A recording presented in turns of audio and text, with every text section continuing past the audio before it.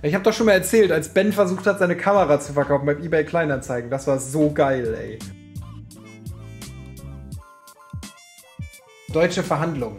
So, also, wie man in Deutschland verhandelt, ist ja auch. Ey, mein Vater ist der König der Verhandlungen. So, immer mit so einem verschmitzten. Ja, die Fußmatten, die kommen dann noch dazu, ne? Das ist ja. Das, ja, Fußmatten können wir da auch noch reinpacken, so. Und am Ende vom Autokauf dann so. Ja, wir zahlen dann ja auch bar. Das macht es ja auch nochmal einfacher, ne? Ja, das macht das nochmal einfacher, Herr Gerdes, wenn man bar bezahlt, das stimmt. Ja, aber dann kann man Dachgepäckträger vielleicht nochmal gucken. Naja, können, wir nochmal gucken, Herr Gerdes, beim Dachgepäckträger. Ja, muss man ja dann mal gucken nochmal. So. Und so verhandle ich mittlerweile auch. So. Dann so, ja, aber wer komm, wenn, ich sag mal, ich rufe euch Montag schon an, dann habt ihr ja zwei Tage mehr Zeit. Das macht's doch auch für alle ein bisschen einfacher. Packt da doch noch einen Kasten Bier dazu, dann haben wir das glatt. So. Dann meinte er, ja, okay, das ist 115 Euro. Ja, 115, wie klingt denn das? Lass doch 110 machen und ich bring dir nächstes Mal einen Kasten mit. So. Das ist immer so richtig, richtig dummes Verhandeln. Dreist, na, dreist ist das ja nicht. Ich finde Feilschen überhaupt nicht dreist. Feilschen, der andere kann ja immer sagen, nö, kann ich nicht machen so. Bett kostet 500, mein Vater, ja, ich gebe dir 100. Ich habe doch schon mal erzählt, als Ben versucht hat, seine Kamera zu verkaufen beim eBay Kleinanzeigen. Das war so geil, ey. Ben, mein alter Mitbewohner, Rocket Beans Ben, ne? Stellt seine Kamera ins Internet, stellt die auf seinen Tisch im Wohnzimmer und macht ein Bild davon. Und im Hintergrund ist halt sein Zimmer und auch sein Fernseher. Erste E-Mail, die reinkommt über eBay, eBay Kleinanzeigen, was kostet Fernseher? So. Betz, ich verkaufe die Kamera. Schreibt der Typ, brauche ich nicht. Kann ich, kann ich den Fernseher abends abholen? Er so, Alter, ich verkaufe keinen Fernseher. Oh, keine Antwort mehr. Nächste Mail, ja, okay. Und die nächste Mail, voll langer Austausch. So, ja, hat die Kamera das und das, ja, hat die alles, alles cool und so. Schreiben sich so zehnmal hin und her. Und ganz am Ende sagt der Typ, ja, kannst die Kamera dann auch verschicken. Dann sagt Ben so, ja, pff, sau ungern und so, habe ich super schlechte Erfahrungen mitgemacht. Aber ja, können wir versicherten Versand machen, kriegen wir irgendwie hin, bla bla bla. Mein der Typ so, ja, weißt du was, ich komme die einfach doch abholen übermorgen. Äh, und dann machen wir 1200. Und Ben so, Alter, das Ding steht für 3100 Euro im Internet. 1200. Meint er, ja, aber ich komme dir doch auch entgegen. Ich komme doch extra rum. Du brauchst ja nicht mal schicken. Das ist auch so geil gewesen, ey.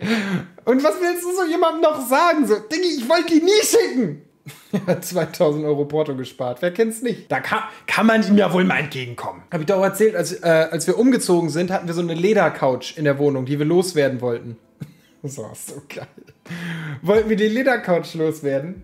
Äh, reingestellt bei eBay Kleinanzeigen, nur Stress. Alles so Leute so, ja, kann ich die reservieren und so. Und wir so, Alter, wir machen kein Reservieren, dann kommst du eh nicht. So, wir, wir machen das nicht zum ersten Mal. Doch, ich komme auf jeden Fall. 20 Minuten später, ja, ich habe was anderes gefunden, ich komme nicht. Äh, so, und immer nur so hin und her. Und meinten wir so, ey, pass auf, wir stellen das Ding einfach unten auf die Straße. Jede Wette in 10 Minuten ist das weg. Wir haben das Ding runtergestellt, fünf Minuten später lag jemand besoffen drauf, den vertrieben, zehn Minuten später war sie weg. Das hat ja leider irgendwie auch so überhand genommen. Es gab ja so eine Zeit, da haben Leute gute Sachen an die Straße gestellt und gesagt, zu verschenken. Und jetzt gehen Leute so durch ihre Wohnung und meinen so, ja, was habe ich hier?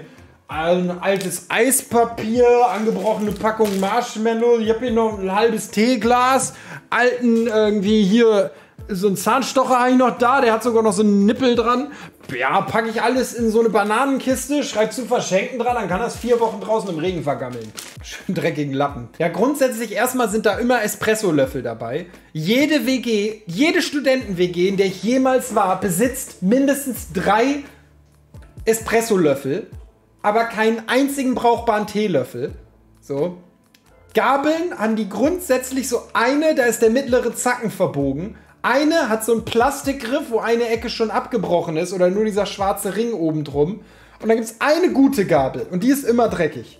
Hat je einer was über eBay Kleinanzeigen verkauft? Ein Mythos. Ich muss jetzt mal überlegen, ehrlich gesagt, ob ich mal was verkauft habe über eBay Kleinanzeigen. Also ich verschenkt habe ich schon mal was über eBay Kleinanzeigen. Verkauft, glaube ich, wirklich noch nicht.